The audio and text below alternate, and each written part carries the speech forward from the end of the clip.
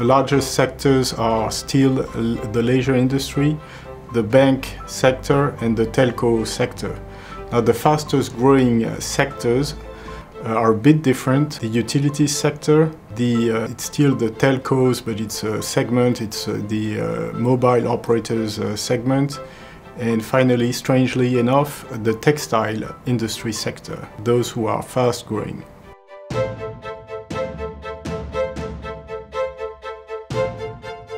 Loss of trust, that is a phenomenon across uh, Europe. I would say uh, there are probably three answers.